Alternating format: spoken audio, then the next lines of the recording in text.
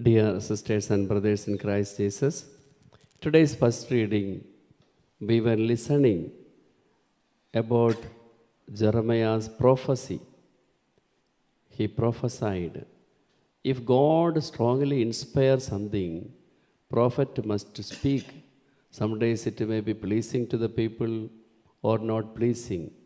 Here, Jeremiah prophesied from the book of Jeremiah, chapter 26 11. We heard, after his prophecy, then the priests and the prophets said to the officials and all the people, This man deserves the sentence of death. He must be died because he is prophesied against this city as you have heard with your own ears. And it was a big problem.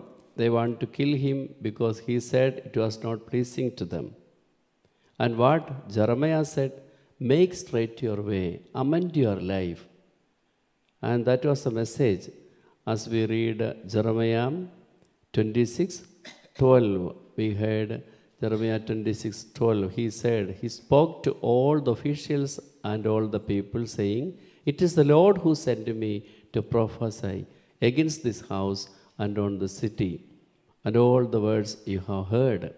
He said, It is God who told me. And next word he heard what he prophesied.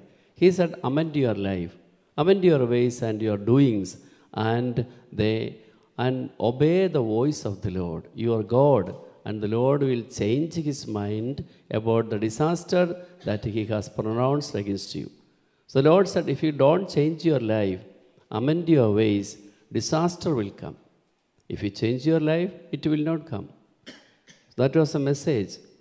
So, dear sisters and brothers, when you stand for God, what will happen? Sometimes people may be against you, but God will be with you. Say Amen. Amen. If all your family members are, you know, against you, community may be against you. If God is with you, that is enough.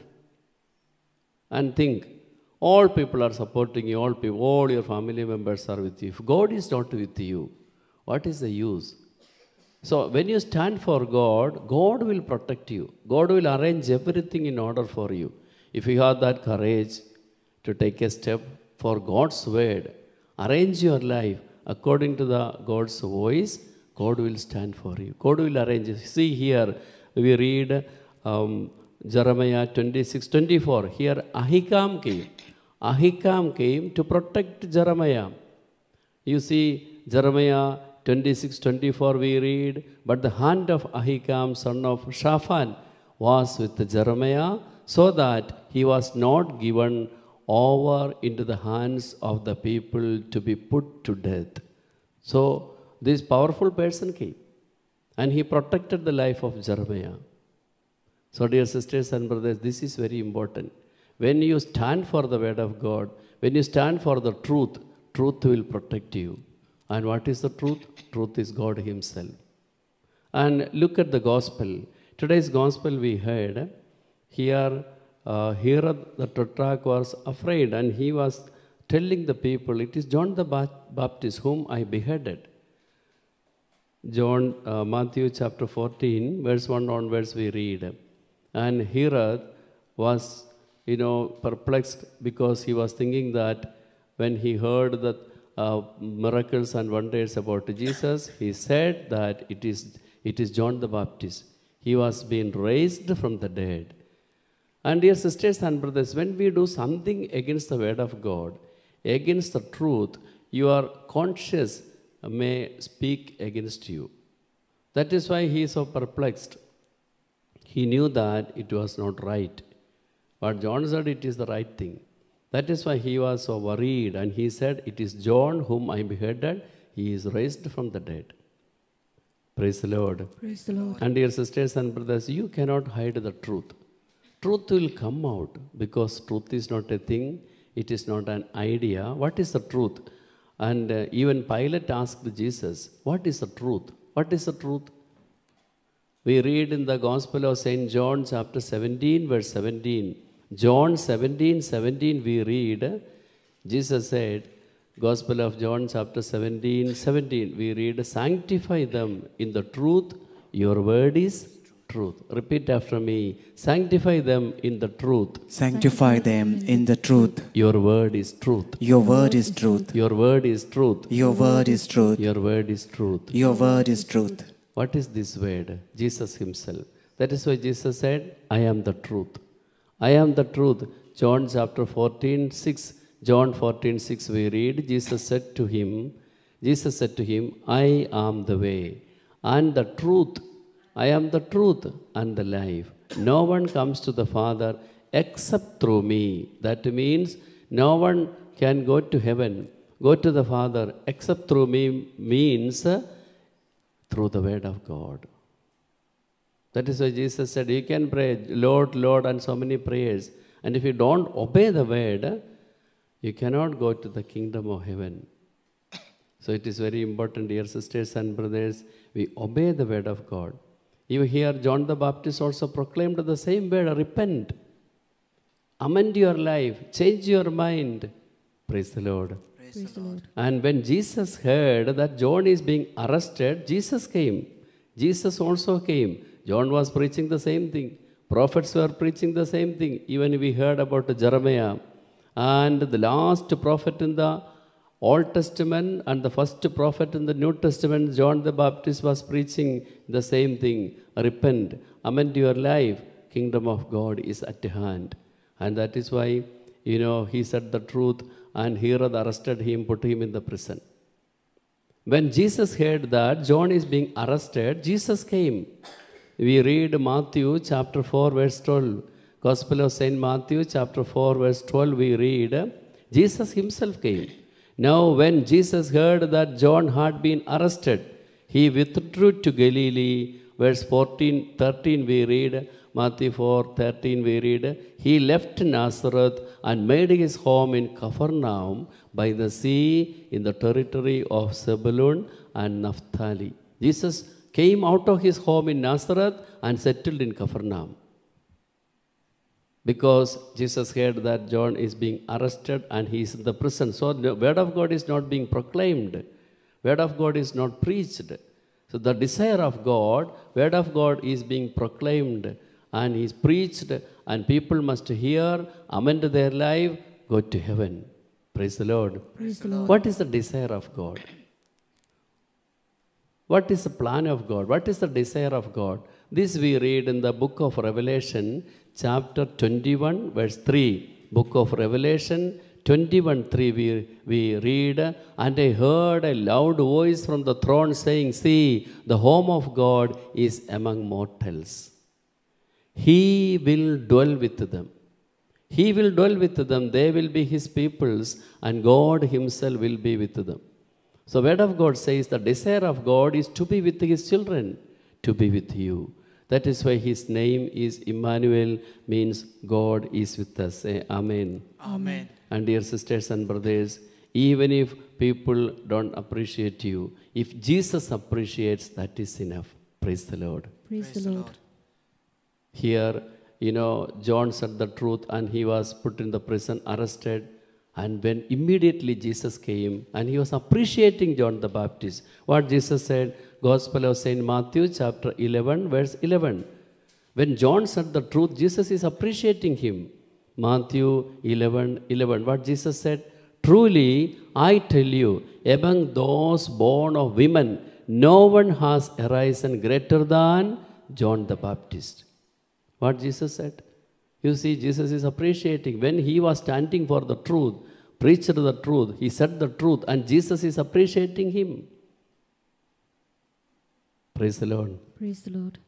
Repeat after me this word of God, Matthew 11 11. Truly I tell you, Truly I tell you, among those born of women, among those born of women, no one has arisen No one has arisen greater than John the Baptist. greater than John the Baptist. Again, Jesus said, At the least in the kingdom of heaven is greater than he.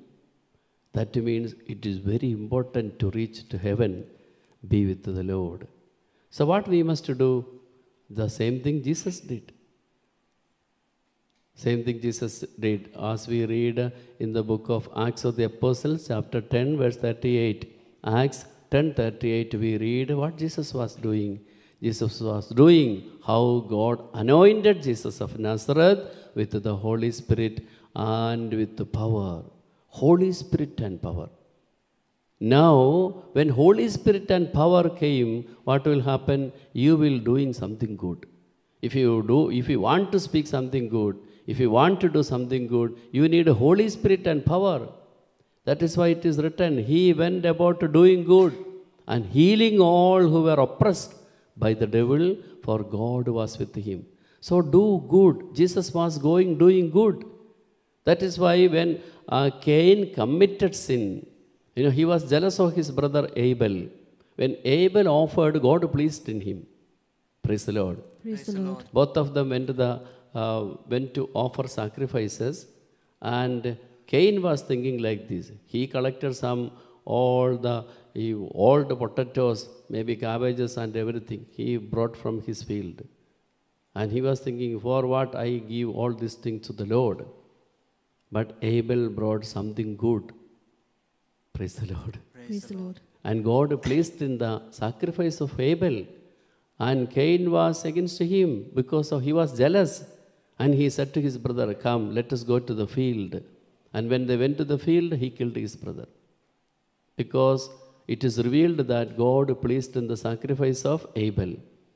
And later, uh, God was what, what God said, what God said to Cain, Genesis chapter 4, verse 7. He was very sad. He was very sad because God placed in the sacrifice of uh, Abel. Genesis 4 7, we read, God said, uh, for 3 we read, uh, sorry, for 6. Genesis 4 uh, 6. The Lord said to Cain, Why are you angry? Some people are angry. The God is asking, Why are you angry? Or why are you sad? Why has your uh, countenance fallen?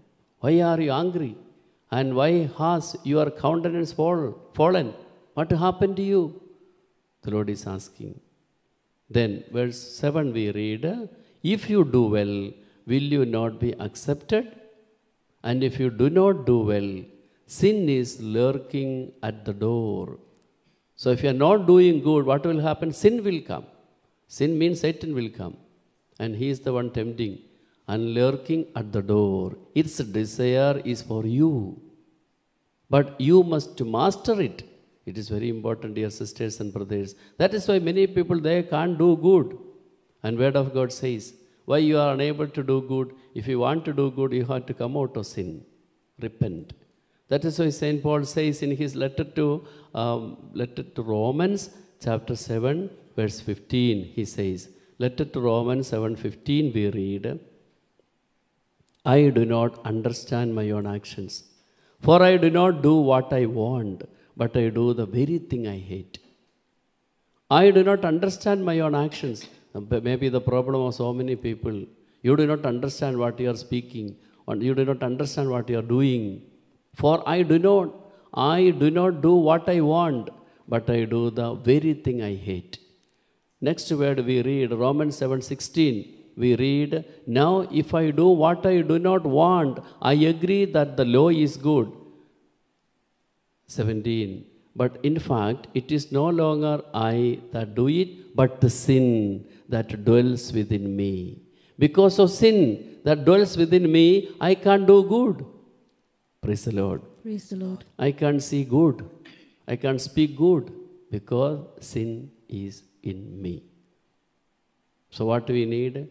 We need to repent so that you can do good, you can speak good, think good. Praise the Lord. Praise the Lord. And truth, then you will be sanctified. That is through the word of God. Praise the Lord. Praise the Lord. So I conclude that is why Jesus said, when you listen the word of God, we are purifying. When you read the word of God, read the word of God. Take the Bible and read. At least one chapter a day. And it will sanctify you, purify you. Praise the Lord. Praise the Lord. Every day we need a purification, sanctification. That is why Jesus said, Gospel of St. John chapter 15, 3.